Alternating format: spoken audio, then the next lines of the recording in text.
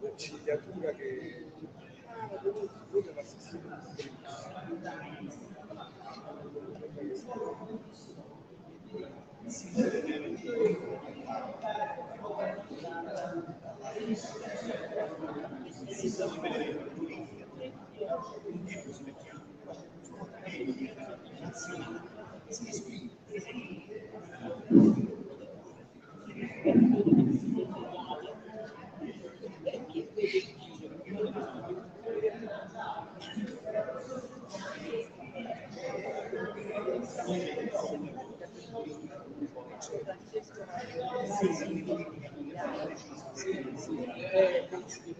adesso c'è una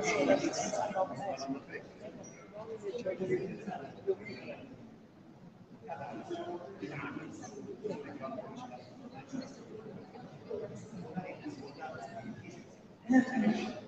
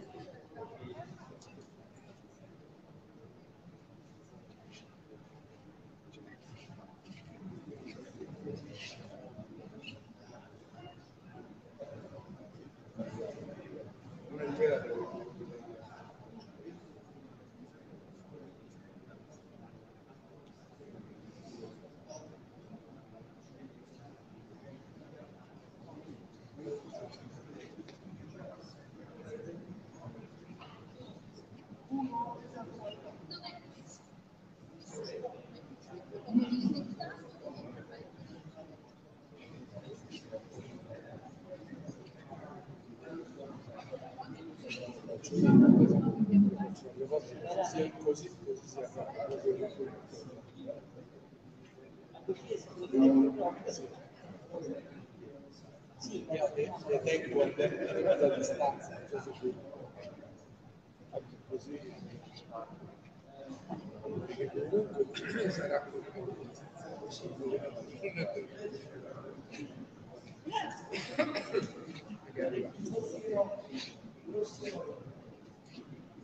tu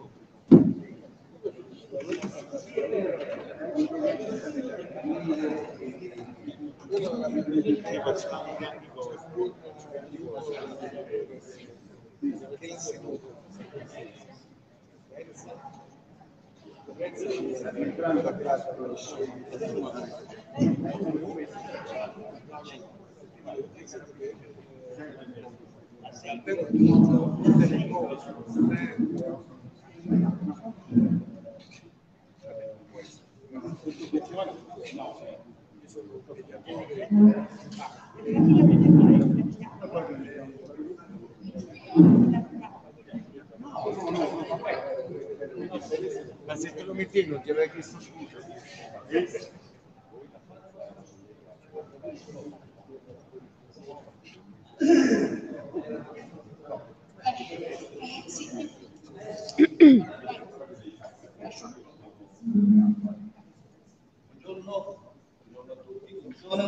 Sì, mi sentite? Perfetto. Sì, soprattutto buongiorno a chi ci guarda da lontano, oltre a chi qui a Benevento è venuto farci l'onore di essere presente per, questa, per questo inizio delle celebrazioni di un evento di grandissima importanza culturale e storico-artistica in Italia. I Longobardi sono stati praticamente la prima idea di nazione nel nostro paese, dopo l'impero romano, e subito prima dell'idea dell'Italia che nasce nella cultura a opera di Dante. E proprio nel settecentesimo della ricorrenza dantesca noi abbiamo i dieci anni di, questo bellissimo, questa bellissima idea che fu la costruzione dell'Italia Langobardorum. Io oh, vi dico solamente questo, poi mi spiego. Mi scuso per il ritardo perché la strada da Roma è stata più camiosa del solito e credo e spero che il prefetto mi benedica insieme con Padre Pio che sta qua vicino per qualche infrazione che ho compiuto soprattutto, soprattutto nell'ultimo tratto per cercare di essere puntuale, cosa a cui tengo moltissimo. Uh, io ho visto il video promozionale di questa iniziativa che è stato realizzato dal comitato per il decennale che mi ascolta. Io sono vice sindaco di Brescia in collegamento. Uh, c'è una caratteristica in quel video che poi vedete anche voi ed è una caratteristica che fa vedere le grandi opere di questa rete di monumenti. Si capiscono queste opere a partire da Santa Sofia Benevento guardandole dall'alto, guardandole dal cielo, oppure guardando il cielo,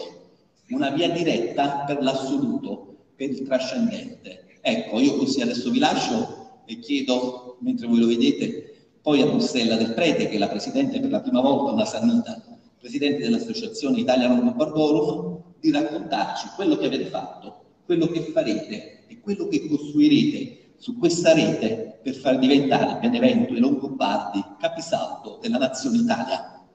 Grazie.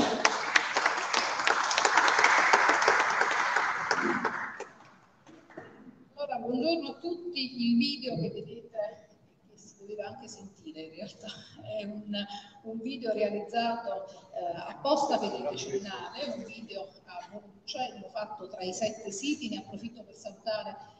tutti i rappresentanti del, eh, dei sette siti, appunto dei, degli altri sei eh, siti della candidatura seriale i Longobardi in Italia, i luoghi del potere, 568-774 d.C., questo è il nome del, eh, del sito UNESCO, di cui la nostra chiesa di Santa Sofia, che peraltro trovate qui riprodotta in un mosaico eh, operato da uno scultore eh, anomalo, perché in realtà farebbe l'ortopedico, ma avrebbe invece una grande passione per la scultura e ha realizzato una serie di modelli in, eh, appunto in marmo, in tasselli di marmo di mosaico dei vari monumenti della città e ha, ha, portato qui con noi, almeno per questi giorni del decennale di ricorrenza, appunto dei dieci anni del riconoscimento UNESCO anche la sua riproduzione della chiesa di Santa Sofia che ammirate qui.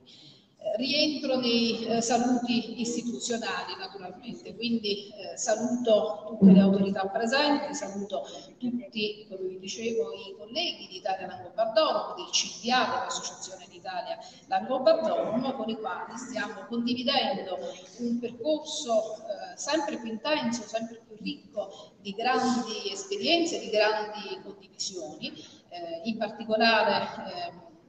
le attività del decennale sono state avviate dalla Presidente che mi ha preceduto, la Vice Sindaca di Brescia Laura Castelletti, che è qui collegata con noi, che saluto e che eh, interverrà tra pochissimo, e, e, che ha continuato a seguire le attività del, eh, della programmazione appunto per il decennale.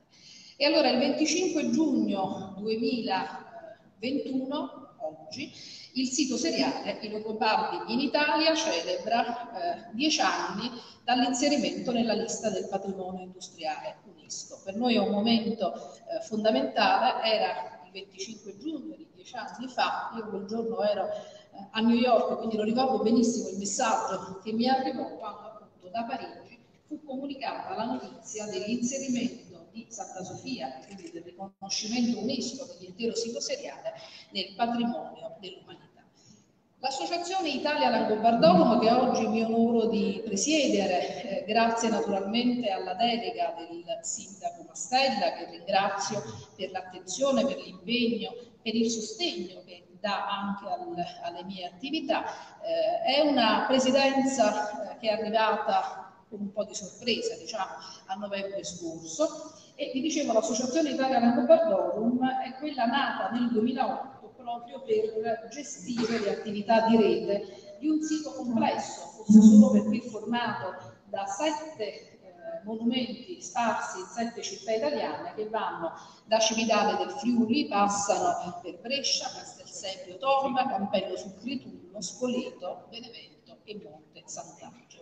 Io vorrei velocemente, perché poi preferirei invece dare la parola, visto che siamo già partiti con un po' di ritardo per un problema tecnico, vorrei soltanto sintetizzarvi con delle, eh, con delle immagini il gran lavoro che è stato svolto in questi dieci anni e di cui forse la città di Benevento non si è accorta pienamente.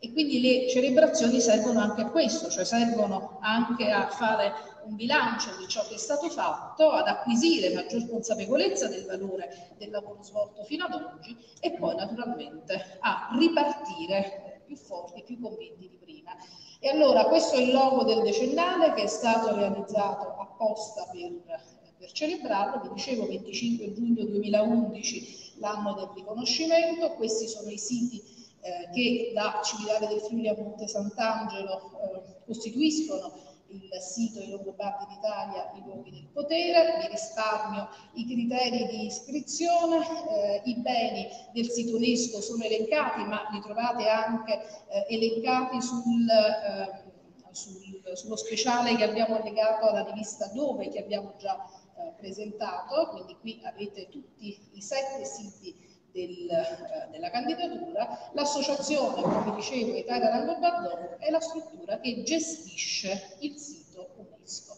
È costituita eh, nel suo CDA dai sindaci delle varie città e poi ci sono anche tante altre associazioni che hanno aderito nel tempo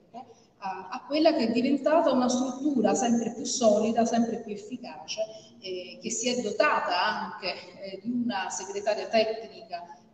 indispensabile direi, e che è supportata da un comitato di tecnici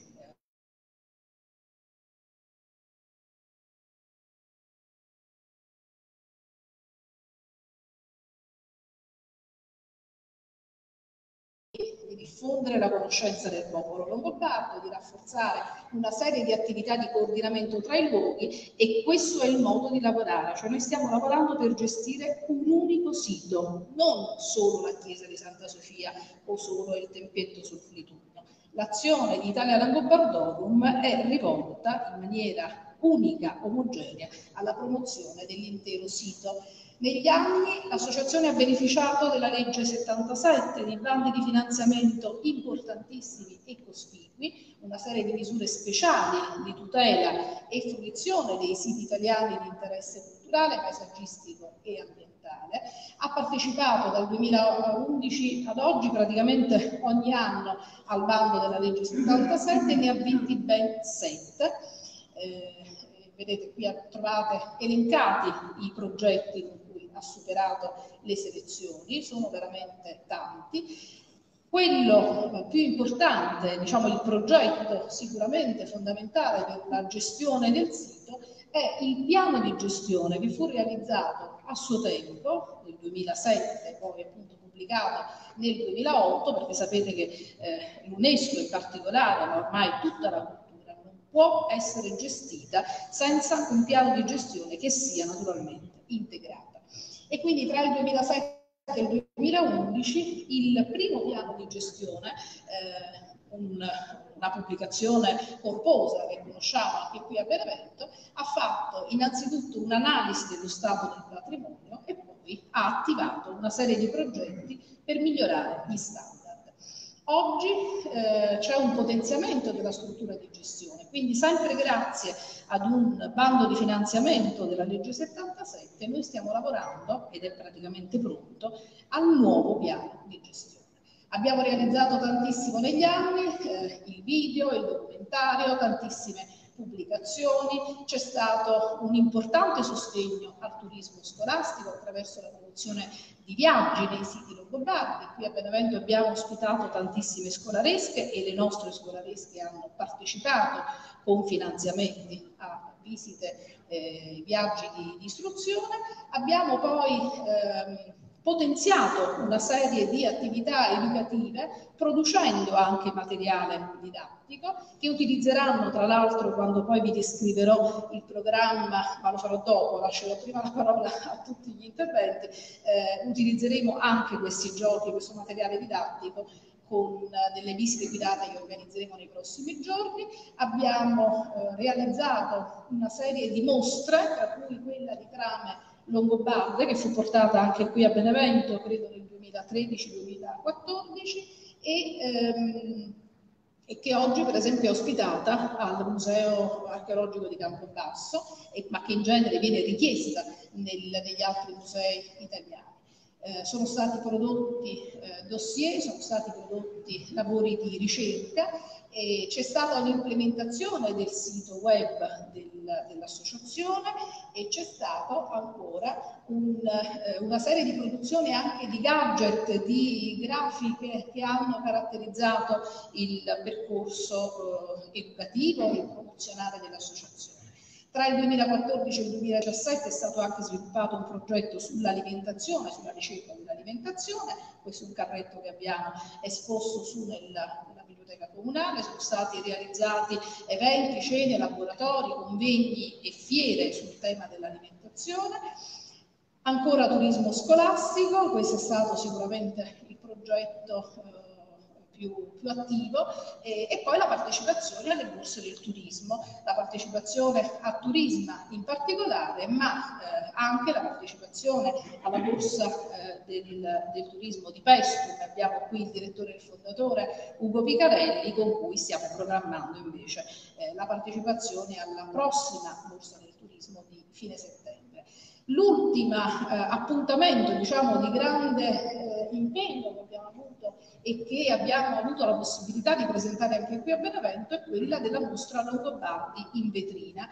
15 mostre temporanee, 13 musei coinvolti, eh, con sette diversi aspetti della cultura del popolo longobardo e poi con la pubblicazione di un catalogo unico e una mostra virtuale online. La mostra Longobardi in vetrina a Benevento l'abbiamo realizzata grazie alla disponibilità, all'accoglienza e quindi alla condivisione del progetto di Don Mario Iadanza, direttore dell'Ufficio Beni Culturali della Diocesi di Benevento e l'allestimento avvenne appunto al Museo Diocesano e lo presentammo in quell'occasione.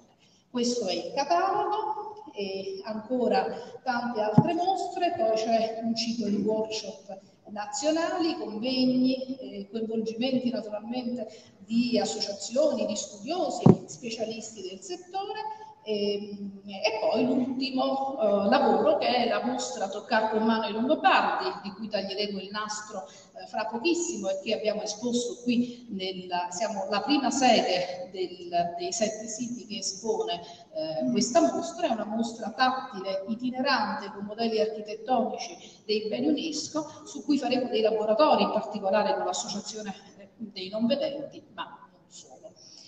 il catalogo della mostra è un catalogo in braille e la fruizione della mostra ovviamente è tattile, quindi per non vedenti. Abbiamo fatto tantissimi altri progetti, non voglio, ecco questo è sicuramente l'appuntamento che mi ha visto protagonista come eh, neopresidente, perché dal 4 dicembre al, eh, per una settimana, 1-4 dicembre del 2020, quello che doveva essere un ciclo di incontri in presenza che noi qui a Benevento eravamo riusciti a fare soltanto in una prima occasione, subito prima del lockdown, il 6 febbraio del 2020, eh, è stato poi realizzato tutto online con una maratona di incontri, l'Hackathon eh, Longobardo, una maratona digitale, che ha visto tanti tavoli eh, istituzionali, interdisciplinari, interistituzionali, con i vari stakeholder locali, prima a livello locale e poi nazionale e poi abbiamo avviato una nuova campagna grafica e fotografica. Ecco, vedete nel, nella foto Laura Castelletti che sentiremo tra poco e queste sono tutte le pubblicazioni su cui eh, sono venuti appunto pubblicati eh, articoli e eh, lavori legati al, alla ricerca sui longobardi. Il decennale comincia ufficialmente oggi in tutti i sette siti e quindi io adesso preferisco non togliere altro tempo, ma era doveroso raccontare l'attività di un decennio di questa associazione e eh, ripasso la parola al nostro moderatore Luigi Ferraiolo che ci ha raggiunto eh, e che è un giornalista accreditato UNESCO, quindi sa bene di cosa stiamo parlando e ci rivediamo tra pochissimo. Grazie. Grazie Presidente, io eh, secondo scaletta ho il sindaco di Benevento, l'onorevole Clemente Mastella, eh, il prefetto di Benevento, Carlo Tollottano, che chiederei di salire, vi chiederei di salire qui con me, forse serve una sedia in più, forse, Antonio Di Maria, presidente della provincia, non c'è? Don Mario? Don Mario, se lo facciamo salire? E poi aggiungerei l'assessore regionale, no, no, vi, vi, vi no, no, c'è un'altra sedia, riesco a gestire, io sto in piedi, io sto in piedi. Don Mario, venite, prego, prego. L'altra sedia è arrivata quando vi racconto un aneddoto brevissimo, quando l'arte della pizza è diventata patrimonio dell'umanità, uh, in Corea del Sud ci trovavamo, era il 2017 se non sbaglio, dicembre, l'8 dicembre 2017, con il fuso orario ovviamente, Uh, nelle immagini della Reuters si vede un gruppo di pizzaioli che gridano urrà e immagini, in queste immagini che sono state diffuse dalle televisioni di tutto il mondo, che siano tutti quanti napoletani, quei pizzaioli che gridavano e gesticolavano nella maniera più pura del dei quartieri spagnoli. Poi se per caso facevi il focus su quell'immagine, scoprivi che erano tutti quanti, avevano tutti quanti lineamenti asiatici. Chi era nordcoreano, sudcoreano, chi era cinese, chi era giapponese, però avevano fatto tutto un lungo periodo di apprendistato da Di Matteo, da Michele e quando erano stati in Italia, a Napoli in particolare, erano stati ribattezzati ovviamente eh, in maniera ironica, mi scusi Don Mario, dai pizzaioli napoletani con nomi napoletani, Ciro, Giuseppe, c'era anche una signora pizzaiola, eh, Giuseppina, e eh, siccome da Napoli era complicato arrivare in Corea del Sud nell'isola di Keku, c'era invece questa rappresentanza di pizzaioli asiatici ma veramente napoletani che esultava, per dire quanto conta essere del patrimonio immateriale o addirittura del patrimonio materiale dell'umanità. L'UNESCO è una casa incredibile e in quel momento, mentre per tutti quanti gli altri dibattiti c'erano state animosità, controversie, gli ambasciatori che si accapigliano in pratica perché sanno il valore di che cosa significa eh, essere nel patrimonio, nella lista del patrimonio, turismo, economia, cultura, quando il, il presidente dell'assemblea, che era in quel caso l'ambasciatore coreano presso l'UNESCO, batté il tocco per dire aggiudicato, ci fu il silenzio assoluto. E l'Italia spesso è accompagnata, immagino che allora a Parigi quando la rete dei Longobardi divenne patrimonio dell'umanità accadde la stessa cosa. L'Italia spesso è accompagnata dal silenzio della contemplazione della bellezza, della grande bellezza e dal punto di vista artistico e quando si tratta di arte professionale. Ecco, io vorrei tornare subito ai nostri ospiti, comincerei dal sindaco, poi andrei avanti e cosa rappresenta per Benevento e ovviamente poi per il resto d'Italia, lo chiederemo anche a tutti quanti gli altri eh, collega, eh, sindaci collegati, essere una città patrimonio dell'umanità? innanzitutto voglio salutare i miei colleghi rappresentanza dei sindaci delle altre sei realtà longobarde. Mi consentiranno tutti di salutare attraverso la vice sindaco della, il mio amico Emilio Del Polo, che è stato con me il sindaco di Brescia parlamentare per molti anni, anche al comune ricordo che credo Emilio testimonierà di Mino Martinazzoli, cui anch'io sono stato chiamato a dir la mia, credo tra qualche mese nel celebrarne la sua vicenda politica. Poi un altro ringraziamento devo fare all'infaticabile, intelligente Rossella Del Prete per quello che ha realizzato, per quello che ha fatto in questo periodo in cui ha gestito l'assessorato alla cultura e per quello che vedo ha messo in atto assieme ai suoi colleghi in giro per l'Italia eh, attraverso il sito e attraverso la Lega Longobardo. Per tutti quanti noi credo sia motivo di grande orgoglio, evidentemente, perché non è una cosa che accade e capita a caso in tutte le città, una costruzione che arriva dopo la materializzazione, una serie di avvenimenti, di aspetti che vanno messi in luce e portati all'attenzione a Parigi attraverso prima il concorso italiano e con la definizione di questo che rimane un patrimonio molto molto importante. Non voglio tirarla per lunghe e faccio dieta delle parole perché credo, insomma, non voglio essere esagerato, però devo dire anche ai colleghi delle altre parti, bisogna forse rafforzare maggiormente questa nostra connessione e connetterci maggiormente con i natali da dove arrivavano, le, le aree geografiche dove sono arrivati gli occupati da noi. C'è anche, veramente l'ho ricordato la volta scorsa, una sorta di, dire, di atteggiamento un po' timido rispetto ai longobardi. Cioè noi amiamo più essere considerati sanniti che longobardi. Poi ho spiegato che i sanniti non so se sono ancora tracce, perché i romani quando vincevano deportavano e quindi i nostri finivano da Alcapuani e quindi bisogna riconsiderare questo aspetto della vicenda e della presenza di grande importanza storico-culturale, giuridica, non dico il ministro della giustizia, giuridica, che avvenne proprio qua nella Lombardia Minor, che invece poi durò per due secoli in più rispetto alla Lombardia Major, e rendere diciamo, fruibile e accessibile anche turisticamente dal punto di vista economico la fruizione di questi spazi di presenza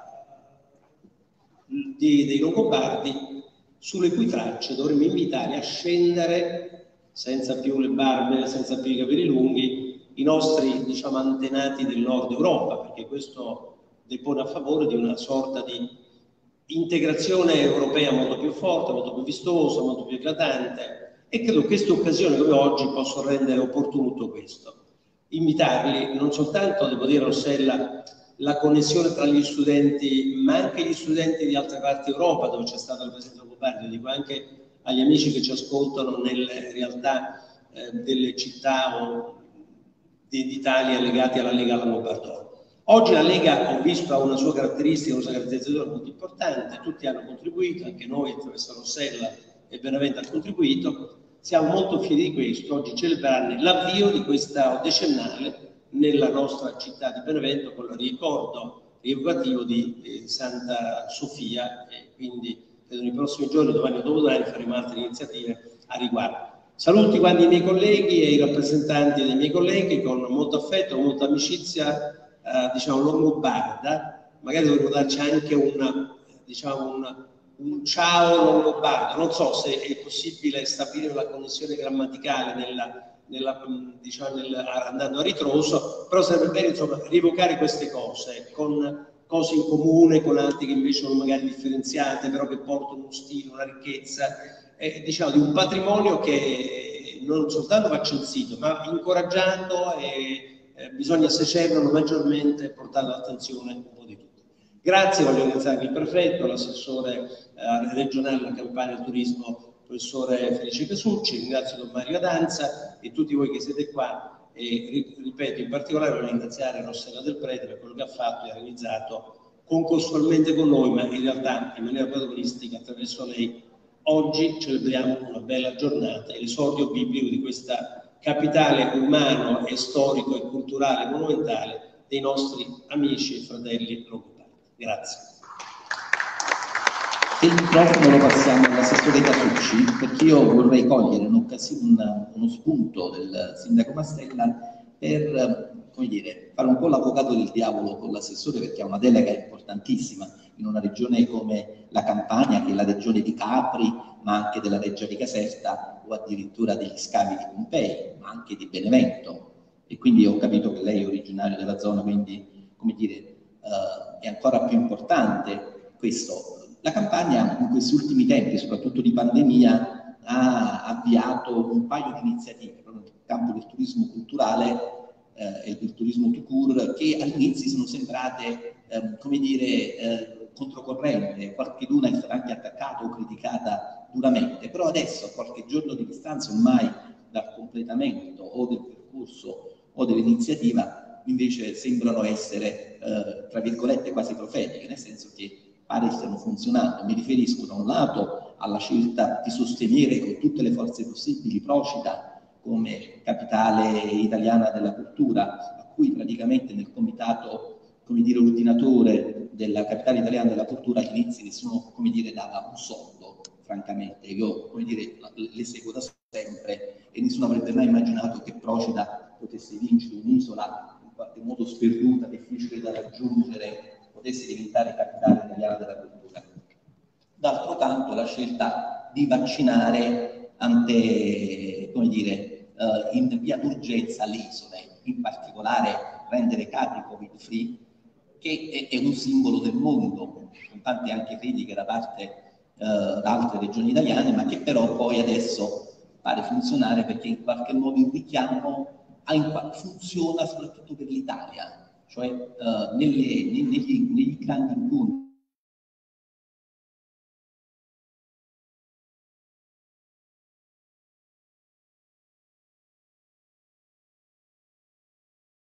attirare ed essere ospitale con gli stranieri e per il turismo. Ecco, e Benevento soprattutto sulla rete dei Longobardi, come vi siete attrezzati? Cioè, uh, il sindaco diceva che in qualche modo uh, è quasi una rete minore come se non fosse entrata uh, nella mentalità, come dire, nell'opinione comune. E in realtà invece anche l'idea di un gemellaggio oppure di creare dei filoni con la Scandinavia con la Germania, eccetera, specifici potrebbe essere interessante. Che cosa, che cosa avete in mente? Innanzitutto la mia presenza qui oggi è come assessore al turismo, non alla cultura della Regione Campania, perché la, la cultura è una delega del Presidente della Regione Campania, sono qui in rappresentanza del Presidente De Luca per manifestare la sua vicinanza al progetto, per manifestare la sua vicinanza alla città di Benevento e tutto ciò che la città di Benevento ha fatto e sta facendo per la cultura a livello regionale e nazionale. Quindi eh, la, la, mia presenza è legata soprattutto a questa fortissima saldatura organizzativa e istituzionale che lega la Regione Campania alla città di Benevento e al suo sindaco. Detto ciò, eh, io mi occupo anche di turismo culturale. Nell'occuparmi di turismo culturale mi occupo perché sono in cabina di regia di Procida, quindi rispondo alla sua domanda. Procida ha vinto perché è un modello di sviluppo, un modello di sviluppo non replicabile altrove ed è un modello di sviluppo che ha cominciato a raccontare una storia del turismo che adesso stiamo raccontando tutti, che è quella del turismo sostenibile, del turismo dei borghi, su cui la, a livello nazionale si è investito più di un miliardo di euro. Però Procida l'ha raccontato prima, non solo l'ha raccontato prima, ma ha fatto diventare il turismo dei borghi un turismo balneare, tra virgolette balneare, Procida non ha una balneazione nell'accezione classica del termine. Quindi è riuscito a declinare questi due elementi, il mare e l'isolamento, che è diventato una, una congiunzione, un ponte, è riuscito a declinare con l'attrattività. Quindi è riuscito a raccontare il turismo culturale in una dimensione tutta propria. Questo noi lo abbiamo eh, reso nostro, lo abbiamo patrimonializzato, lo abbiamo fatto diventare uno dei modelli di sviluppo del turismo culturale della regione. Tant'è che eh, Proceda Capitale della Cultura è richiamata più volte nel nostro modello di governance nel piano turismo che stiamo portando avanti verremo a presentare tra pochi giorni a Benevento come un work in progress, ma continuiamo a, a, con, il quale continuiamo a confrontarci nelle sedi locali. Verremo a Benevento, incontreremo il sindaco, incontreremo l'assessore, incontreremo gli operatori perché vogliamo continuare a confrontarci su questo piano dal quale già emergono degli atti eh, esecutivi della Giunta, penso in particolar modo alla delibera, che verremo anche quella a, a, confrontarci qui con gli operatori, che è la delibera che consente a tutta la filiera turistica di avere delle risorse legate agli attrattori culturali, perché uno dei temi fondamentali, diceva bene il sindaco prima, uno dei temi fondamentali è che la cultura continua ad avere un mondo sostanzialmente avulso dal mercato. Cioè continua ad essere un mercato referenziato a se stesso e questo non può più essere così, cioè la cultura deve diventare il più possibile integrata all'interno di un sistema privato, più all'interno di un brand unitario. Nel brand unitario, che sia nazionale, che sia regionale, nazionale ne ha parlato il Ministro,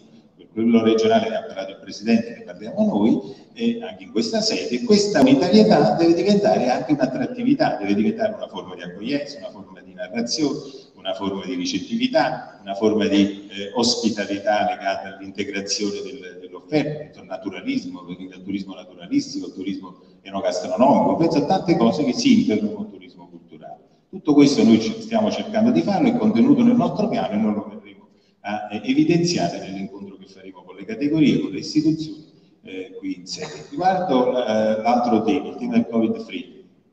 credo che la Regione Campania, eh, non me ne vogliano le altre regioni, ma credo che la Regione Campania per la prima intuito Presidente De Luca col Covid free di Capri, noi con i, i, protocolli di sicurezza che abbiamo cominciato a sviluppare, proprio a Benevento c'è stato uno dei modelli, proprio il prefetto presente qui, ha sviluppato uno dei modelli replicabili, infatti l'abbiamo replicato, di protocollo di sicurezza inteso ancora prima che nascesse l'idea delle bolle, che l'MSC facesse nascere delle bolle, una sorta di eh, corridoio di sicurezza che funzionava per categorie quindi evidentemente siamo stati antesignani, proprio Benevento è stato antesignato, grazie al prefetto, grazie anche all'amministrazione comunale che ha partecipato a quel tavolo. Quindi evidentemente il tema della sicurezza è diventato un tema prevalente e mi permetto di ricordare che noi siamo ancora in una fase di emergenza sanitaria. Addirittura Draghi vuole rinnovare la dichiarazione di emergenza sanitaria dopo il 31 luglio. Quindi noi dobbiamo ragionare per un turismo non più un turismo di grandi masse, quindi un turismo molto legato alle determinazione, alla disciplina, all'organizzazione, alla fruizione, ma una fruizione molto molto mirata. Eh, questo è quello che eh, stiamo facendo, credo che eh, abbiamo dato un'indicazione in termini di prospettiva, dobbiamo continuare a farlo perché il turismo del futuro sarà diverso. Benevento da questo punto di vista ha un grande vantaggio competitivo che deriva da ciò che ha e da ciò che in qualche modo per tutta una serie di ragioni storiche è diventata nel tempo. Quindi io credo che avremo delle, delle occasioni che riguarderanno questa città questa provincia e confido che questo diventi anche un modello di sviluppo per la regione e la nazione intera. Grazie.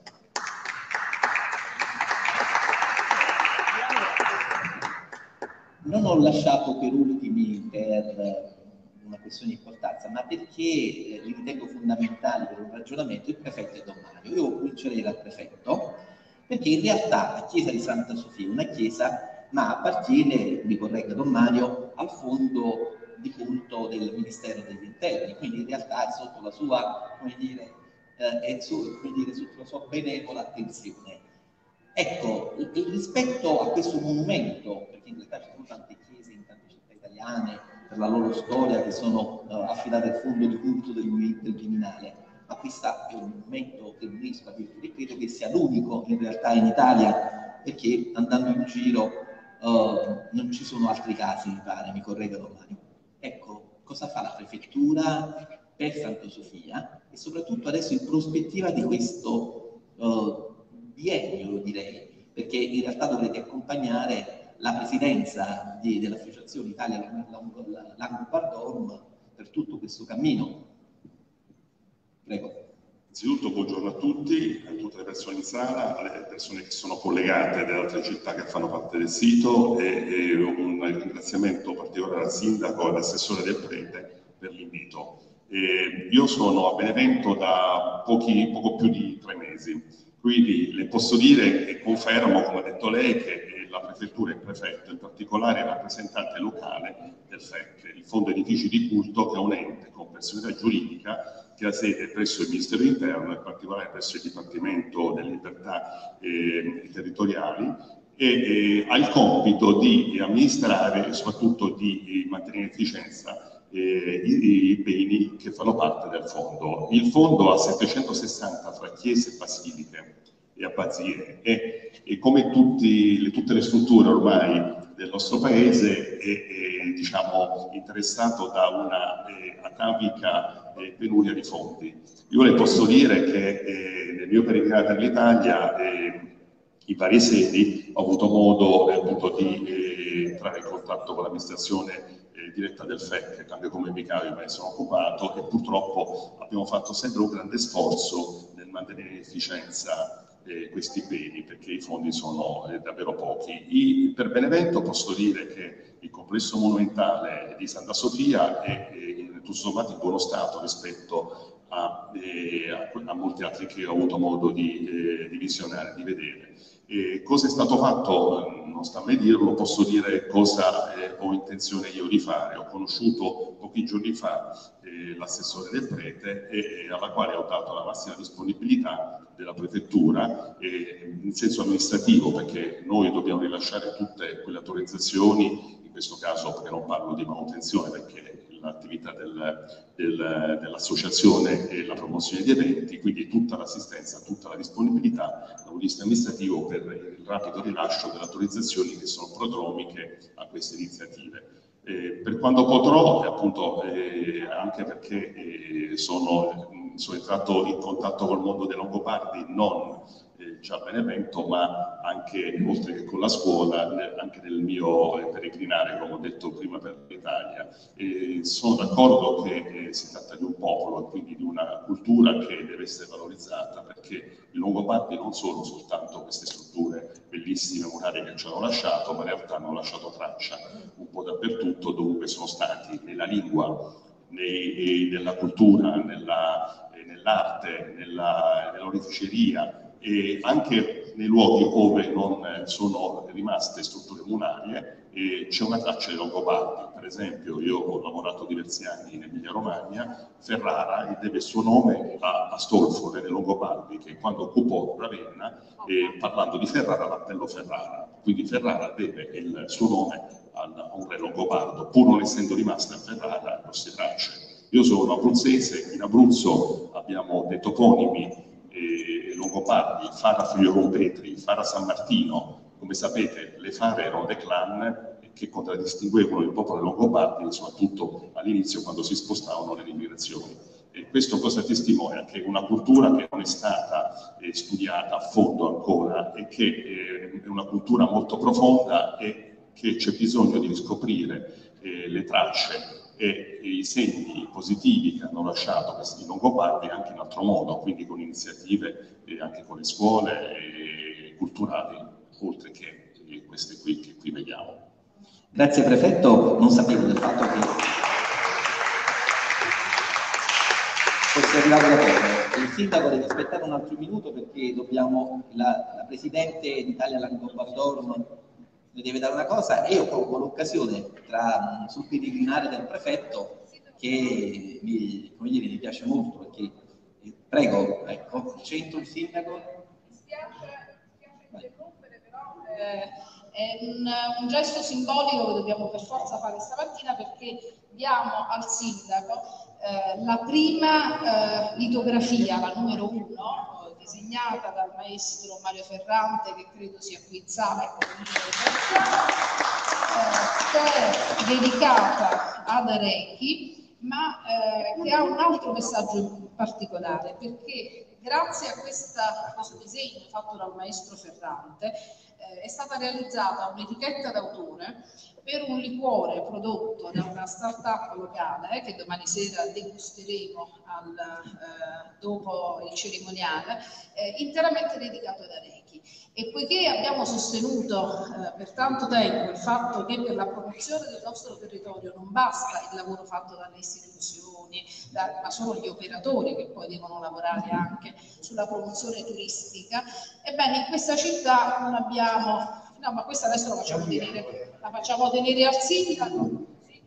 perché è, donata a lui simbolicamente, ma eh, in realtà perché rappresenta la città e quindi è importante sottolineare il fatto che tutti, ma proprio tutti, debbano acquisire consapevolezza del valore di questo riconoscimento UNESCO e debbano utilizzarlo, ma utilizzarlo per far crescere appunto la nostra comunicazione. Questo è solo il primo passo poi domani sera ne facciamo un altro, dopo domani ne facciamo un altro e quindi aggiungiamo un tassello ad ogni cosa. Questo gliela firmerà Io però la do maestro, grazie, ma la do al comune che lo metteremo al comune, che è giusto così. Grazie. Grazie al sindaco Clemente Mastella, lo salutiamo, che è impegnato in altre attività istituzionali già previste e eh, io mi riallaccio al peregrinare del prefetto un po' per chiedere eh, per introdurre Don Mario, che è il direttore dell'ufficio ad hoc dell'arcidiocesi di Benevento, che è anche un'arcidiocesi come dire, pontificia in qualche modo perché lungo la storia ha avuto uh, delle, dei, dei, ruoli importanti, e, ma anche perché uh, non, non, so se per caso avete mai portato un racconto di Longobardi partendo da Benevento, ma con tutti quanta la rete ovviamente, all'assemblea dell'UNESCO. Cioè io negli ultimi anni ho visto, specialmente a Parigi, qualche, in qualche caso con più difficoltà nelle altre località dove si tiene l'assemblea eh, internazionale dell'UNESCO ogni anno, il COM, eh, ho visto mostre, eh, video, fotografiche, incontri, eh, e guardo il vice sindaco per, che presiede il comitato per il decennale, incontri in cui si racconta il patrimonio universale dell'umanità all'interno dell'assemblea. E ho scoperto che queste iniziative sono uh, molto interessanti, funzionano perché uh, all'interno dell'assemblea ci sono gli ambasciatori, spesso le strutture uh, dei vari ministeri di tutto il mondo, perché molti paesi sono in lizza per ottenere l'inserimento oppure stanno lavorando per istruire la pratica e ci sono soprattutto le NGO. Le NGO sono un motore fondamentale all'interno del mondo dell'UNESCO. In Campania ce n'è una in particolare, poco conosciuta, ma che io ho scoperto è sempre presente a tutte quante le assemblee, almeno da una decina di assemblee, l'NGO Fantantone, le battuglie pastelliste di Macerata Campania. Ecco, uh, e, e lì bisognerebbe in qualche modo essere presenti. E quindi se non ci siete mai stati, come dire, è un suggerimento per andare. chiederei a Don Mario allora proprio su questo, come i Longobardi sono stati fondanti anche per il cristianesimo in tanti motivi, ha mai provato la diocesi in qualche modo a raccontarli in questa chiave, partendo da Santa Sofia? Ringrazio per la domanda e esigerebbe un convegno la risposta, questo lo dico da, da studioso insomma, di queste cose, perché insomma, c'è una, una storiografia su questo terreno molto nutrita, quindi la rinviamo casomai a un'altra occasione. Intanto voglio salutare tutte le autorità presenti, voglio salutare gli amici dei vari siti che appartengono a questa filiera, no? i luoghi del potere, anche a nome e per conto di Sua Eccellenza Monsignore Crocca che è fuori e che mi ha chiesto appunto, ha delegato qui ad essere presente a queste celebrazioni. Eh, la scansione di un decennale eh, è sicuramente importante eh, perché da una parte si colora di ricordo grato verso tutti quelli che hanno operato. C'è un autore del XII secolo che usava l'immagine dei nani sulle spalle dei giganti. I giganti eh, sarebbero la somma di tutti quelli che ci hanno preceduto, delle loro acquisizioni in termini anche culturali, e quindi noi facciamo frutto di quello che loro hanno costruito per portare il nostro contributo e andare avanti in questa sorta di staffetta. No? Ecco. Quindi ricordiamo le autorità del tempo, ricordiamo gli studiosi e tutti i funzionari che allora per alcuni anni si occuparono di questa candidatura. E ricordiamo anche il Ministero, ecco. tutti coloro cioè, che furono occupati almeno per tre anni 2011 resero possibile quello che la Presidente e Assessore del Prete poc'anzi diceva, quel 25 di eh, giugno del 2011. E da un'altra parte però eh, questo riconoscimento per noi è un impegno, una responsabilità, è una responsabilità di cui dobbiamo farci carico ed essere consapevoli. Eh, per la verità voglio dire che in questi anni non è che nulla è stato fatto, molto è stato fatto l'assessore del prete ha citato alcune iniziative, io ne citerò altre, altre iniziative di cui gli organismi della Chiesa beneventana sono stati protagonisti. E perché sapete, noi come Chiesa beneventana ci troviamo a custodire un preziosissimo patrimonio, in particolare i manoscritti, i manoscritti in scrittura beneventana e canto beneventano. Mi auguro che nel futuro qualcuno, adesso lo sapete, a Napoli, ma non solo Napoli, Napoli e provincia, stanno operando per ottenere il riconoscimento UNESCO appunto di San Gennaro come patrimonio immateriale. Mi auguro che nel futuro dalle nostre parti si possa proporre la scrittura beneventana come patrimonio. La scrittura beneventana. Mi sembrerebbe questo un, un percorso da seguire. Ecco. E, ebbene, questi patrimoni la nostra Chiesa ha contribuito in questi anni a promuoverli, a valorizzarli. E ricordiamo nel 2012 abbiamo fatto un bel convegno sul Ducato Principato di Benevento, furono pubblicati anche gli atti, nell'occasione ci fu una bella mostra sui manoscritti liturgico-musicali in Beneventana conservati presso la nostra biblioteca capitolare. Poi sono seguiti un paio di convegni di altissimo livello, credetemi, della Biennale, una, be una bella sinergia tra provincia, comune, eh, chiesa locale, università, la prima biennale ha prodotto un volume su Arecchi che attualmente è il riferimento degli studi su Arecchi. È sicuramente il volume più aggiornato, di riferimento assoluto. Gli atti della seconda edizione stanno per uscire, dovrebbero uscire tra non molto.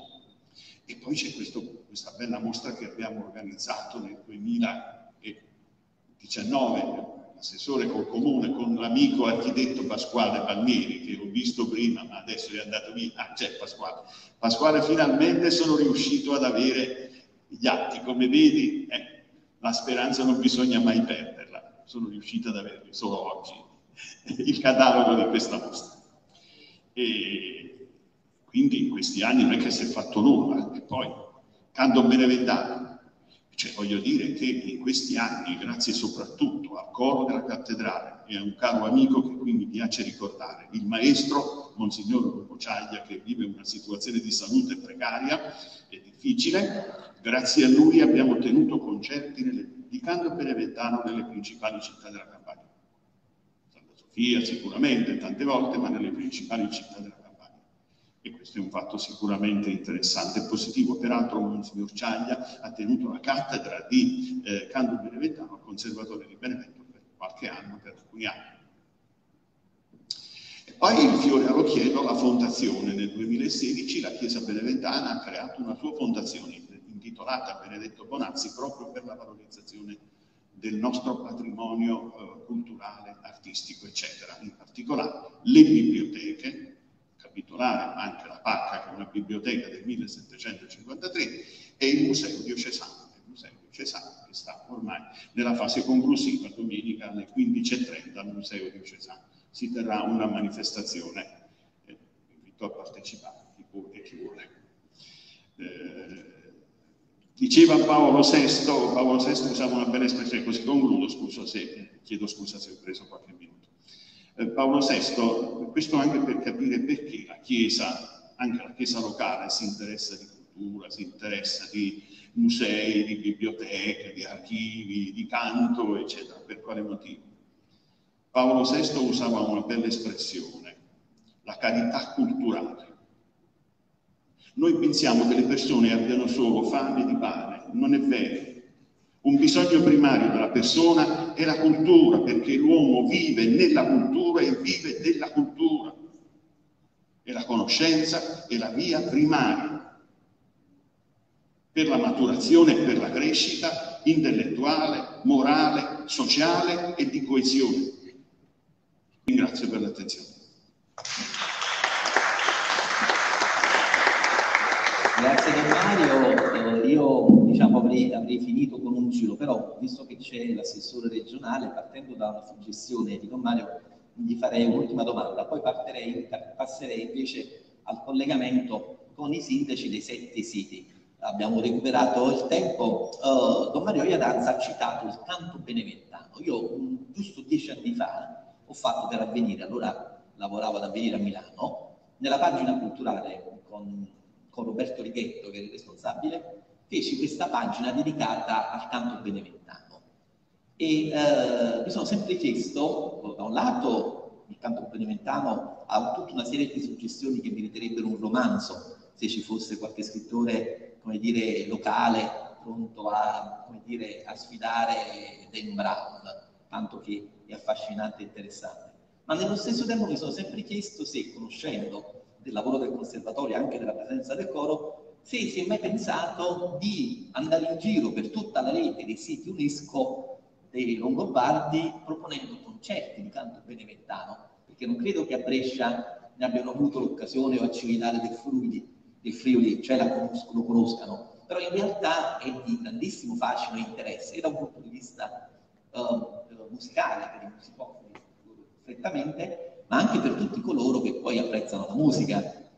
Non mi addentro nel merito della specialità del canto beneventano, però come dire è una delle sopravvivenze certe del mondo longobardo, della cultura longobarda, e quindi sarebbe carino, che ne so, creare un giro in questo anno, due anni di celebrazioni, di concerti, creare un DVD e soprattutto inserirlo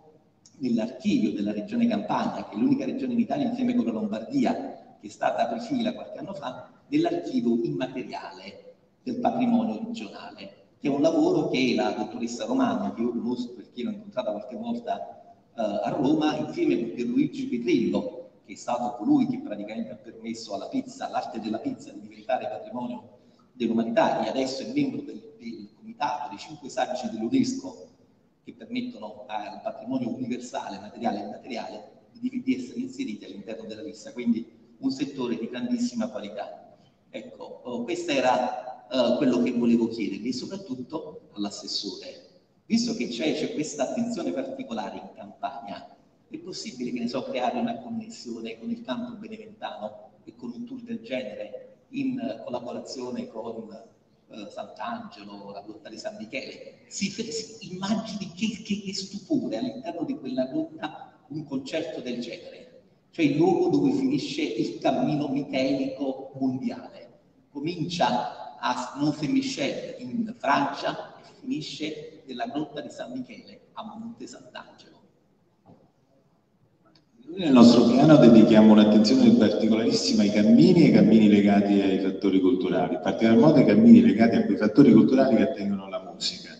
Quindi credo che la proposta è assolutamente ricevibile, noi saremo attentissimi, se ci sarà un soggetto che lo promuove, che ci sottopone eh, la questione. Sì, certo, certo, l'evento può essere, può essere lo stesso soggetto di cui stiamo festeggiando in questo momento il decennale, l'associazione, che ha una valenza anche interregionale. Noi stiamo ragionando con alcune delle regioni che, che sono qui presenti, in cui le, i rappresentanti istituzionali sono presenti, per fare delle cose diverse da queste, ma possiamo tranquillamente perseguire questo tipo di progetto. Il tema dell'immaterialità UNESCO è un tema importantissimo, Voglio dire solo una cosa, il tema di materialità, perché se ne sta discutendo nei progetti di legge sulle professioni turistiche, che mi sono molto stupito che le guide turistiche possano fare, cioè, eh, questa è una posizione che, che ha preso, secondo me, impropriamente una commissione tecnica, che le guide turistiche possano fare in loco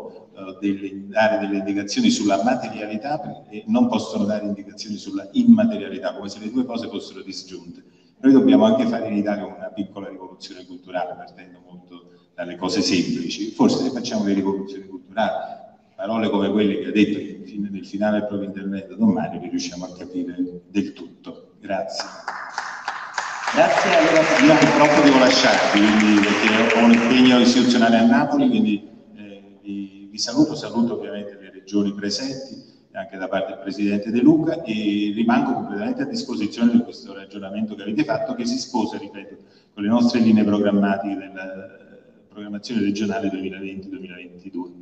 Grazie Assessore, Grazie. salutiamo. C'è Don Mario che vuole dire una cosa, però brevissimo perché c'è il change sì, che, volevo... dobbiamo, che stanno aspettando da tempo ne abbiamo fatti anche un po' sudare, mi sa. Volevo solo aggiungere che il canto beneventano è stato portato anche a Brescia e anche a Cividale alcuni anni fa. A Brescia in occasione del grande, grande mostra che si tenne in Longobardi, il futuro dell'Europa, e anche a Cividale. Nulla vieta che iniziative del genere possano essere riprese e in qualche modo istituzionalizzate anche per questo rapporto. Del resto, vedete, quello che noi chiamiamo canto beneventano, le fonti dell'undicesimo secolo lo chiamano canto ambrosiano come dire, tra i Longobardi del sud e i Longobardi del nord c'era un apparentamento anche a livello culturale e musicale.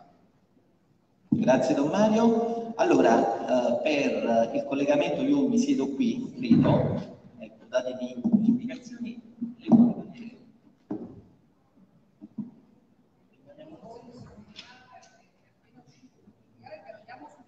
Sì, io comincerei, poi dopo chiamiamo il direttore che c'è posto fondatore anzi della borsa del turismo archeologico di Pestum, di una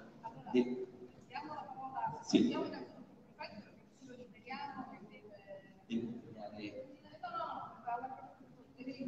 Perfetto. Intanto, mentre i sindaci si preparano, salutiamo il prefetto Torlontano. Arrivederla prefetto, grazie.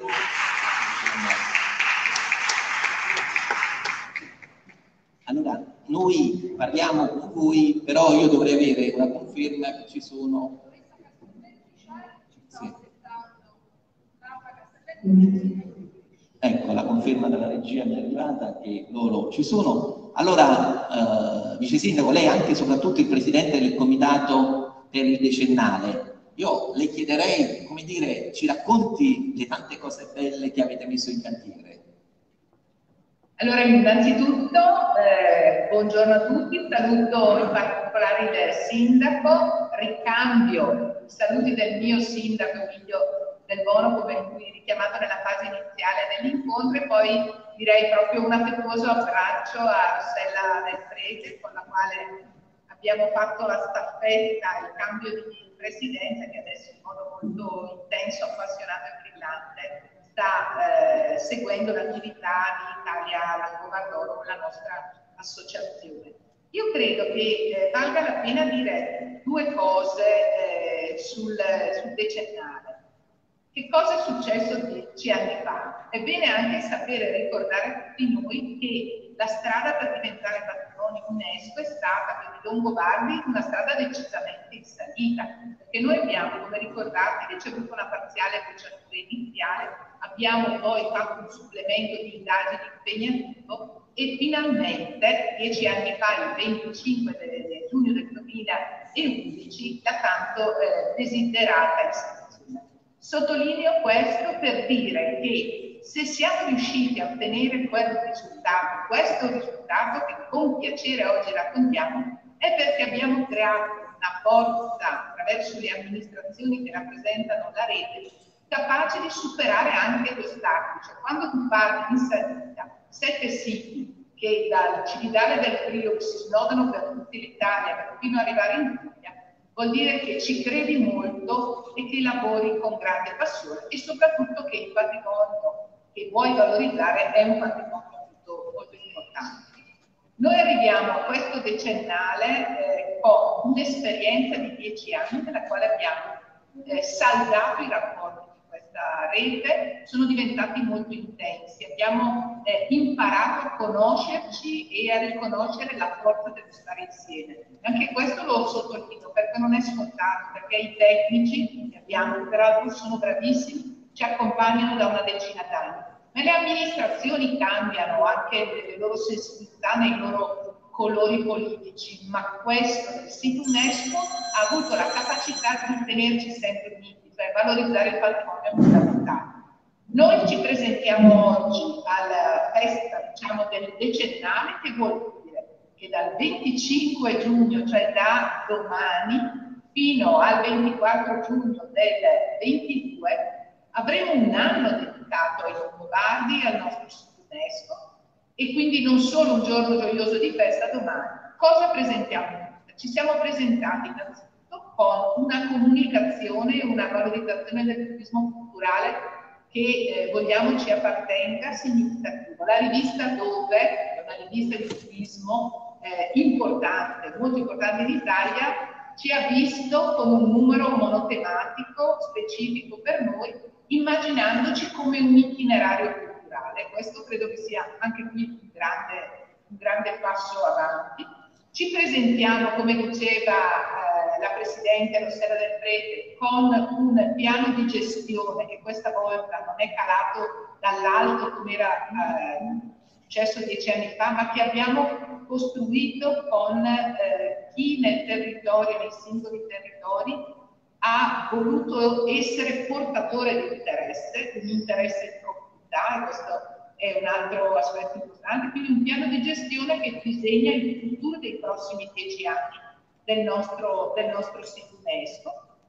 Poi un grande investimento sulla educazione, sui bambini, sui ragazzi, sui lavoratori, per noi questo è stato fondamentale anche in questo decennale lo svilupperemo e poi naturalmente domani sarà un giorno di festa che coinciderà una festa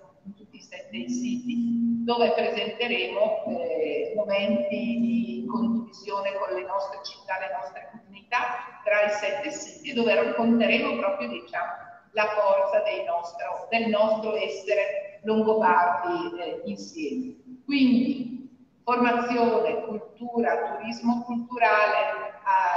l'essere orgogliosi di appartenere a questo sito saranno gli elementi chiave decisivi per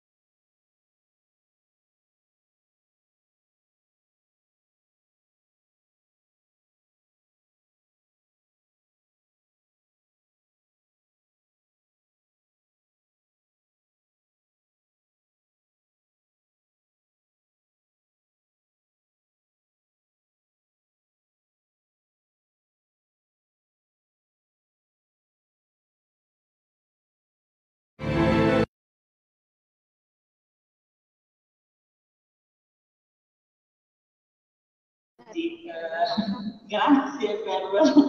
per avermi insomma, chiamato in casa. Non so se era, no, forse non era previsto. Comunque, eh, insomma, saluto uh, gli amici longobardi, saluto la Presidente, eh, un abbraccio alla, all'amica e collega Rossella. E, sì, allora, uh, sicuramente noi, uh, diciamo, la, diceva prima anche eh, Laura Castelletti, eh, il gioco, il nostro gioco è un gioco di squadra, quindi eh, quando, quando, parliamo dei Longobardi, quando parliamo eh, appunto dei sette siti, quando eh, parliamo quindi eh, dei siti che vanno da Cividale del Friuli a Brescia, Spoleto, a Benevento, a Monte Sant'Angelo, parliamo comunque di una, di una rete. Ehm, il, il, lavorare e per costruire ponti, quindi per costruire comunque delle occasioni che possono essere trasformate in, uh, come dire, in situazioni che possano portare alla valorizzazione del nostro territorio. Um, Monte Sant'Angelo sta lavorando uh, sul, sul è, passata eh, l'anno scorso, è stata eh, insomma, è rientrata nella, eh, con la Francigena del Sud, eh, quindi nel um, riconoscimento Uh, e quindi uh, abbiamo avviato anche un, un, lavoro che è sempre di rete, con, uh, che collega della, quei, quei, quei, quelle, eh, come dire, quei santuari che eh, in linea retta collegano eh, appunto eh, i sette santuari che hanno avuto origine eh, Mont Saint Michel, la, la Sacra in, in Piemonte, eh, sono comunque legate alla, al santuario di, di San Michele Arcangelo, un santuario che è stato appunto poi riconosciuto eh, e voluto anche eh, San Michele è, eh, è, stato riconosciuto anche come protettore del popolo longobardo. Quindi eh, se, il, lavoro, eh, io penso che ci siano tutti presupposti per collegare poi, ecco, e, collegare e andare a rinforzare maggiormente quel legame che già ci tiene uniti no? con, uh, con, Benevento e con gli altri siti. Quindi uh, noi abbiamo firmato un, un gemellaggio con, con San Michel, tra l'altro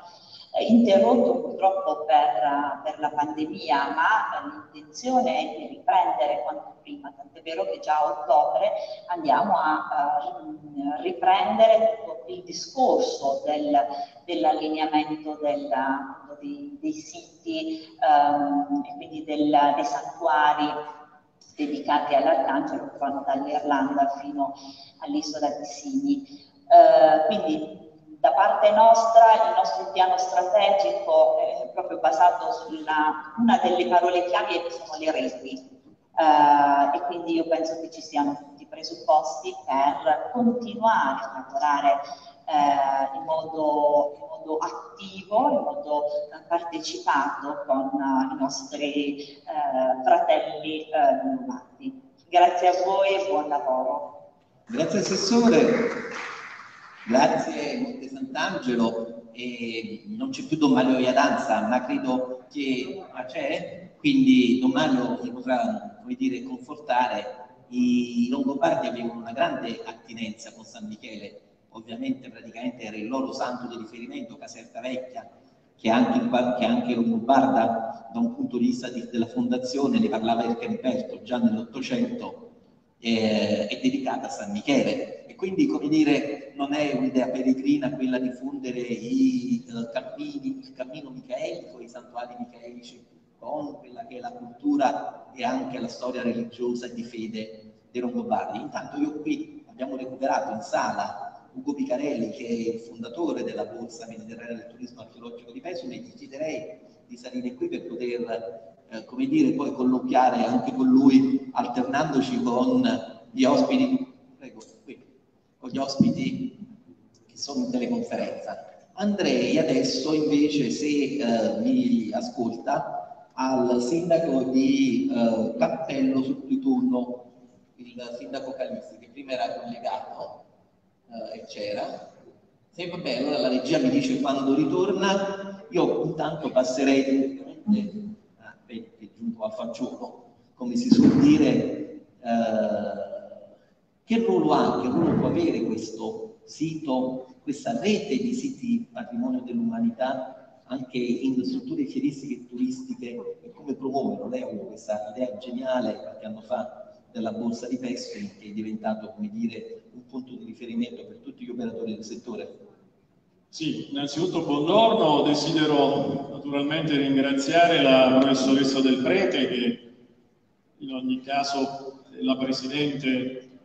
in occasione proprio di un anno particolare importante, decennale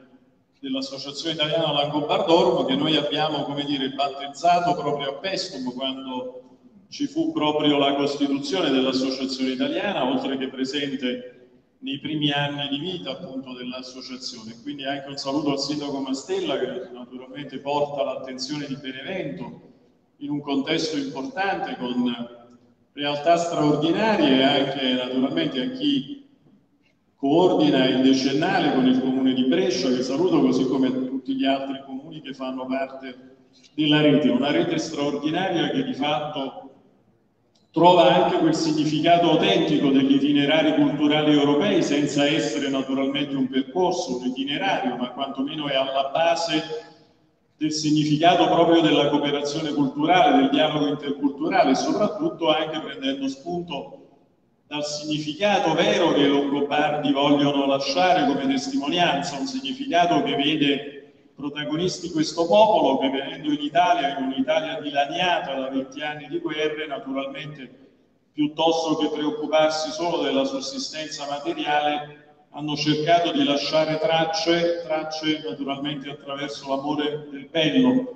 E quindi anche in occasione di questa ripartenza, questa pandemia che speriamo ci lasciamo alle spalle, proprio attraverso la bellezza dobbiamo recuperare, proprio prendendo spunto anche da quella che era la crisi che nel paese dove che diventava la loro patria dei Longobardi, alla fine poi hanno cercato di interpretarla attraverso il patrimonio culturale. Mi fa piacere anche naturalmente che il sindaco Mastella ha sottolineato l'importanza naturalmente dell'attrazione dei flussi turistici, perché questo poi è l'obiettivo che sta a cuore all'Associazione Italia Langobardormo, non solo nella tutela e nella valorizzazione del patrimonio, ma soprattutto anche nel determinare una promozione dei flussi turistici sui sette comuni protagonisti. Certamente intercettare la domanda del turismo scolastico che sottolineava il sindaco Mastella è estremamente importante. Io mi permetto anche naturalmente di ampliare perché ci sono tante di quelle realtà, associazioni, gruppi archeologici, archeoclub, il FAI, i club di servizio dei Rotary e Lions, veramente una base culturale anche di cittadinanza attiva che in ogni caso viaggia, intercetta e può essere una buona forma intercettare il turismo associativo, così come il turismo sociale che oggi vede una riqualificazione anche del termine, quindi non nel significato un po' come dire datato di un turismo sociale legato agli anziani, legato ma soprattutto all'accessibilità, nel rendere consapevoli tutti che tutti possono e devono fare turismo. Un turismo che oggi naturalmente non chiamiamo turista colui che ne fruisce, ma viaggiatore, proprio perché è un'esperienza attiva da parte della persona, da parte di tutti noi. E concludo anche, naturalmente, sperando che il tecnico sia anche pronto, poi dopo, quando terminerò il mio intervento, eh, giusto uno spot di 30 secondi della borsa che cercheremo di svolgere proprio perché abbiamo posticipato non solo per più di una volta dal 30 settembre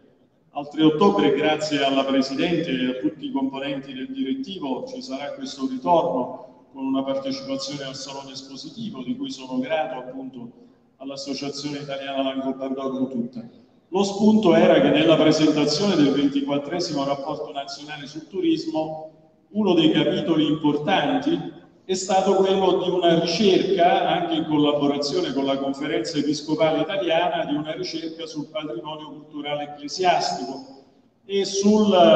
spiritual heritage tourism, il rapporto nazionale sul turismo è sempre stato diciamo, promosso dalla Presidenza del Consiglio dei Ministri quando il turismo affieriva alla Presidenza, così come dal Ministero dei Beni Culturali, altrettanto in tanti anni e naturalmente è un po' il riferimento annuale della ricerca appunto sul turismo. Ebbene, il patrimonio culturale ecclesiastico oggi rappresenta nel nostro bel paese il 70% del patrimonio italiano, gestito proprio dalla Conferenza Episcopale Italiana. Questo è estremamente importante perché al di là dell'infrastruttura, come dire, organizzativa che vede nell'opera romana pellegrinaggi diciamo, un po' il fiore all'occhiello e naturalmente un tour operator straordinario per quanto riguarda la promozione del turismo spirituale, con tanti eh, santuari, con tanti centri che effettivamente muovono centinaia, migliaia di persone anche nei nostri santuari, nelle nostre basiliche italiane, anche poco conosciute. A Pestum abbiamo il santuario del Getsemani, la Madonna del Granato, che pochi sanno che veramente muovono anche in mesi fuori stagione, quindi un'importanza per la destagionalizzazione. E quindi intercettare e soprattutto creare anche un dibattito, invitare Sua Eminenza Ravasi, appunto Presidente del Consiglio Pontificio della Cultura, perché credo che oggi sia importante che questo patrimonio ecclesiastico sia fruibile non solo per un turismo spirituale, ma soprattutto veramente con una accessibilità naturalmente di turismo virtuoso, di turismo rispettoso del luogo, proprio per il significato culturale legato alle identità, alle tante identità che naturalmente nel nostro paese trovano fondamento e quindi anche un invito eh, a cercare di approfondire queste tematiche. Sappiamo bene che nelle archidiocesi ci sono i vari responsabili appunto al patrimonio ecclesiastico e quindi semmai la Borsa Mediterranea del Turismo Archeologico cercherà anche di approfondire un po' questa tematica alla luce di questa ricerca recente. L'assessore regionale al turismo Casucci sta facendo tanto bene anche per intercettare quelle forme non solo di turismo esperienziale, che turismo sostenibile, che in verità la Borsa aveva già approfondito prima della, della pandemia appunto in corso. E quindi credo che oggi bisogna effettivamente cercare di dare un'impronta nuova alla modalità di fare turismo, un turismo rispettoso dei luoghi che si visitano, un turismo appunto responsabile, un turismo che deve mettere in condizioni il viaggiatore di conoscere l'identità, ma soprattutto che attraverso l'identità e le peculiarità dei territori possa effettivamente essere tutto uno strumento di dialogo interculturale. Grazie a tutti a voi e invito questo 30 secondi dello spot della ventitresima edizione della Borsa del Turismo Archeologico di Pestum dal 30 settembre al 3 ottobre.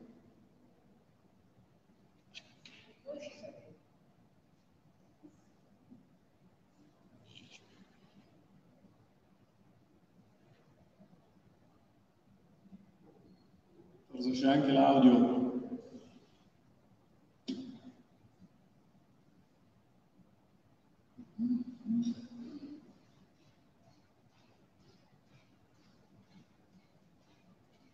Conferenze e incontri con archeologi e protagonisti della TV. Dal 30 settembre al 3 ottobre 2021 a Pestum, la borsa mediterranea del turismo archeologico. Salone con 100 espositori e 20 paesi, workshop con buyer esteri e nazionali, orientamento alla formazione e al lavoro, un viaggio da virtuale e conferenze e incontri con archeologi della TV visita il sito www.bmta.it. Un appuntamento da non perdere, quello della borsa, da sempre Mitali, tutti quanti gli addetti ai lavori del settore, ma anche i giornalisti, perché poi un luogo incantato come Pessum, che aveva bisogno che grazie anche alla borsa ha cominciato quel cammino di importanza, di riconoscimento che poi è sfociato, sfociò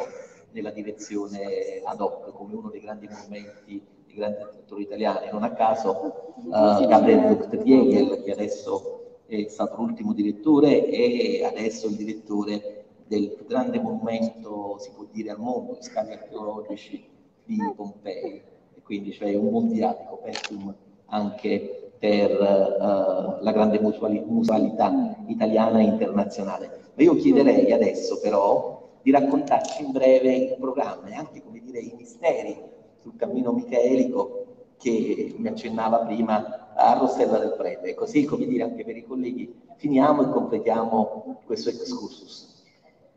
Sì, certo, noi abbiamo, intanto ringrazio tutti e saluto tutti e naturalmente abbiamo abusato fin troppo della loro,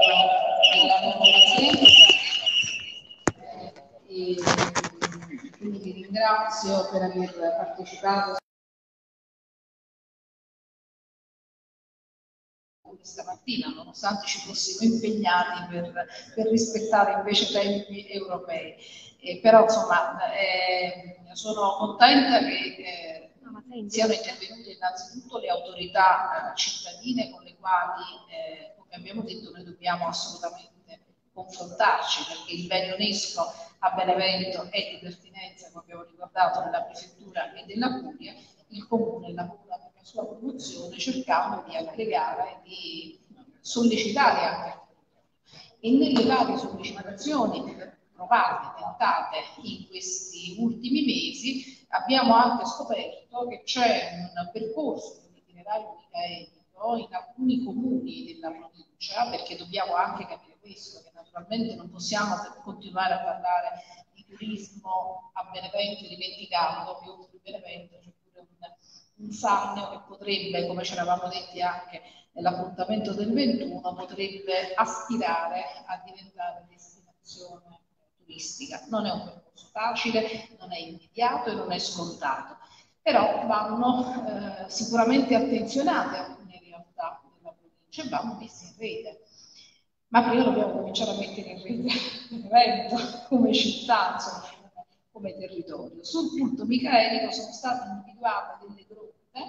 in alcuni 4-5 comuni del Sannio. Presenteremo questo itinerario micaelico nei prossimi giorni, credo a metà luglio, perché il palinsesto che abbiamo approntato è un palinsesto in continuo aggiornamento. Noi abbiamo fissato soltanto degli appuntamenti che sapevamo di poter eh, realizzare nell'immediato, eh, però appunto proprio perché ci siamo dati come eh, obiettivo quello di scovare eh, insomma, cercare di, di, orientare, quindi di sollecitare anche delle altre situazioni, vedremo anche che cosa riusciremo a fare sull'itinerario micaelico, prima eh, descrivendolo e poi naturalmente cercando anche di praticarlo con delle visite guidate, con dei percorsi.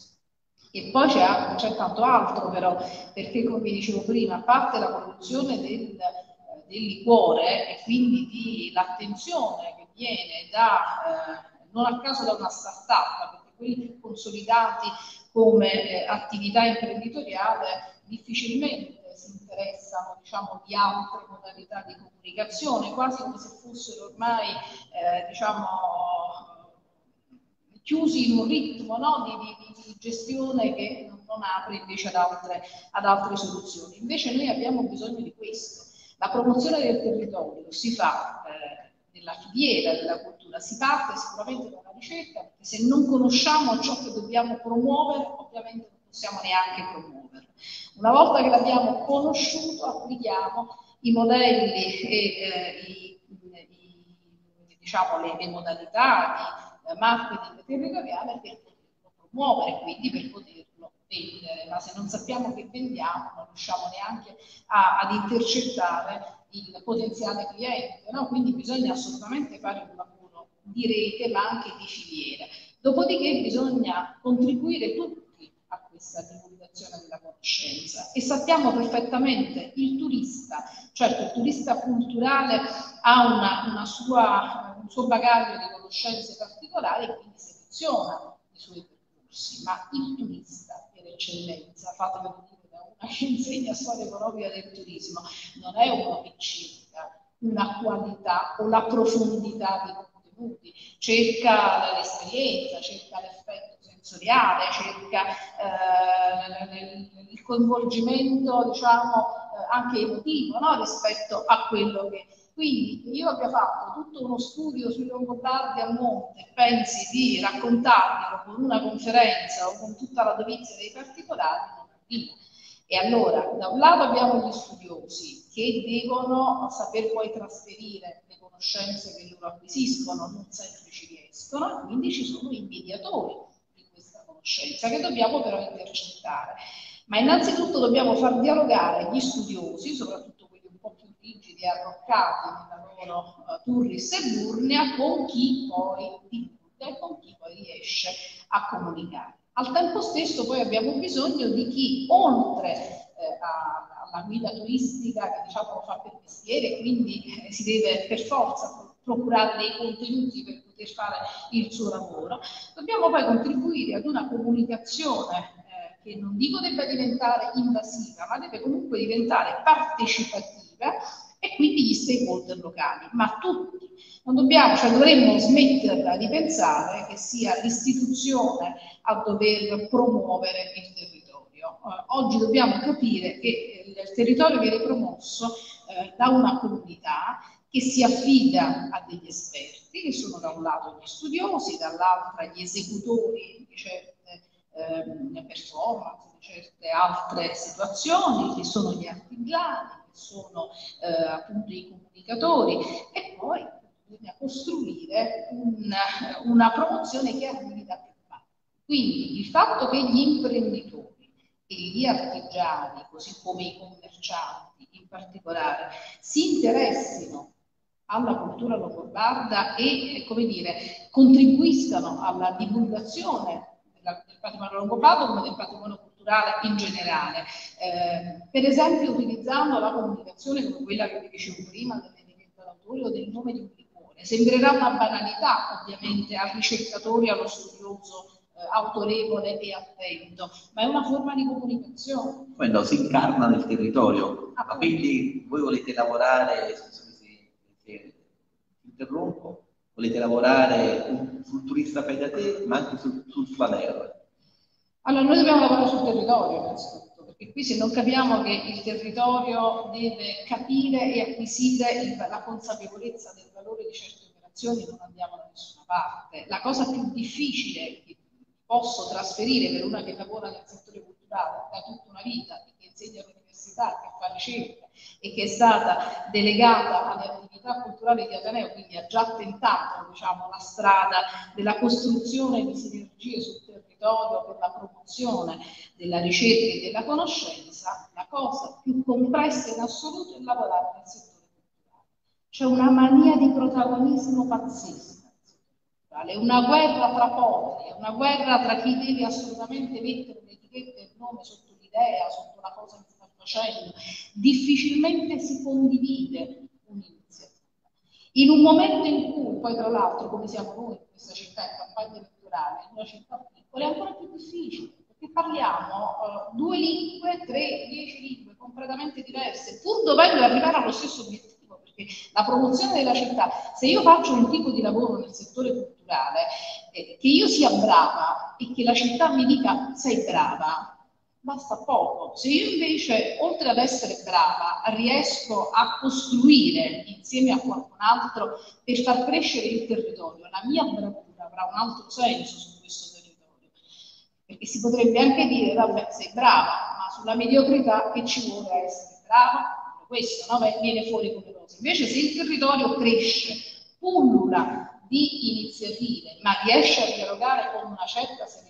e senza la chiusura che è antropologica, perché 11 secoli di dominazione pontificia qualcosa avranno pur significato su un territorio, una città come Benevento. Cioè c'è un comportamento eh, di un certo tipo che spinge a chiudersi, ad isolarsi nei propri, nei propri contenuti e nelle proprie attività, mentre invece bisognerebbe assolutamente condividere è il discorso della rete di impresa, cioè noi promuoviamo nell'ambito imprenditoriale le reti di impresa, i consorzi, le organizzazioni appunto di rete delle attività produttive e poi dell'attività culturale. Noi riusciamo a farlo. E questo è un limite, è un limite enorme per la crescita di una città che ha un'unica vocazione reale, cioè quella del turismo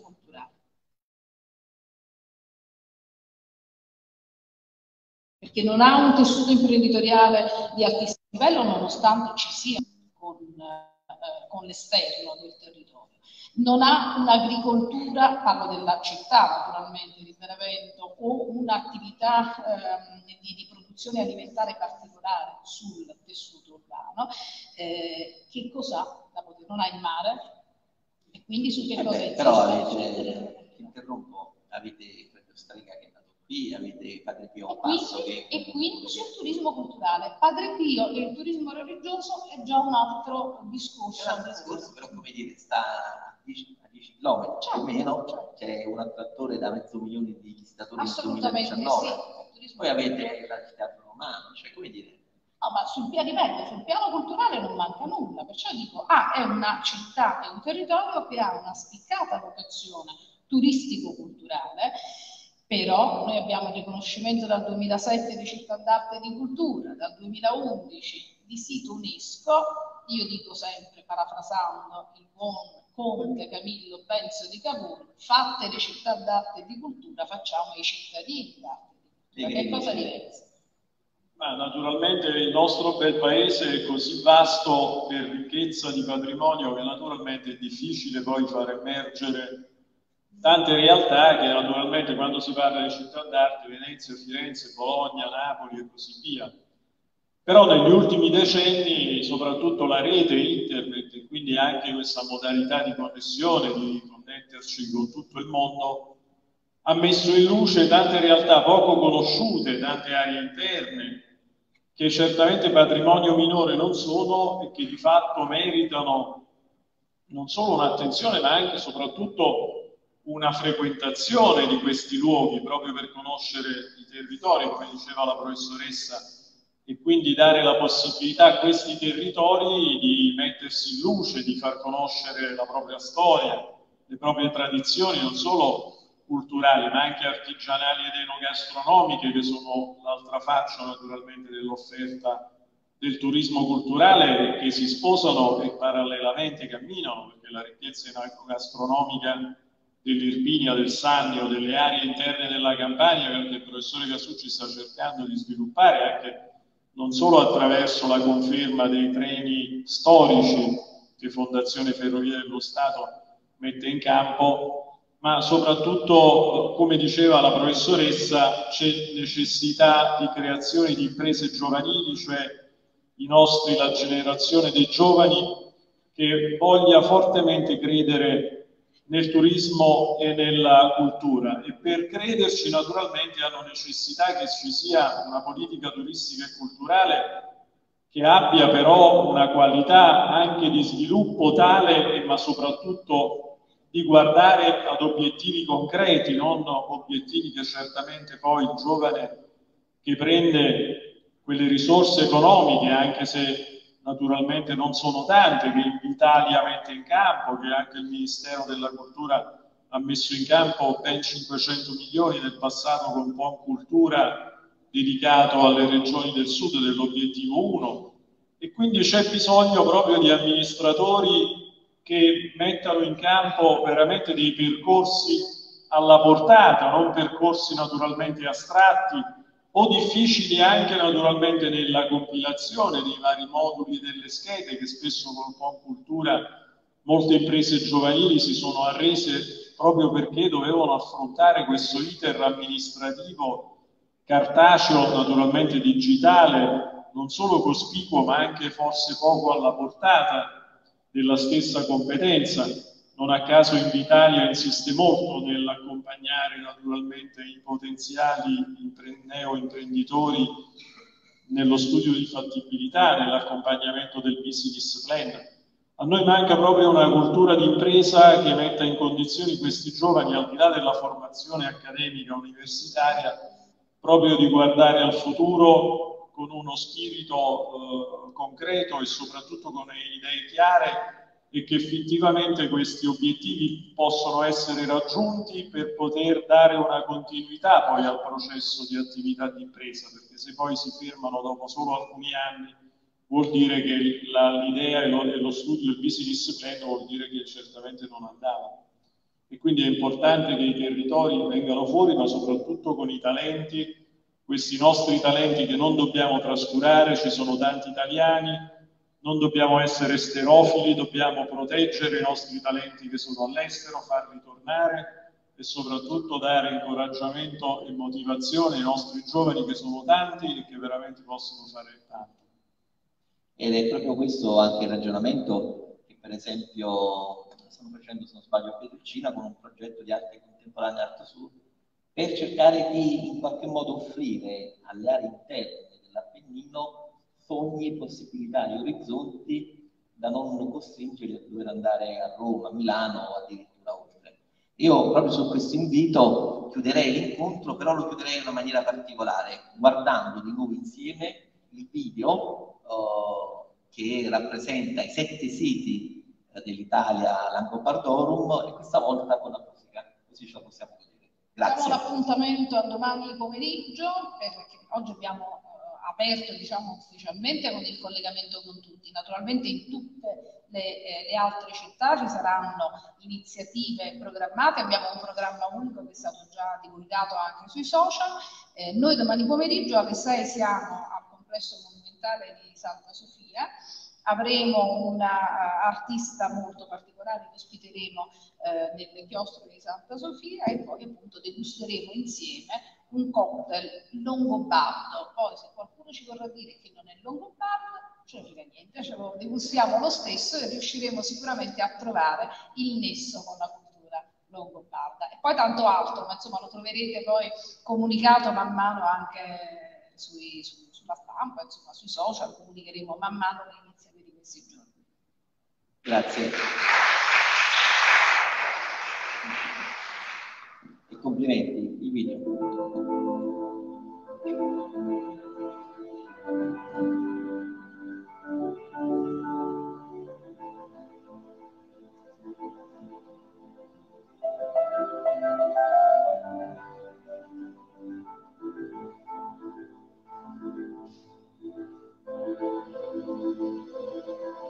Thank you.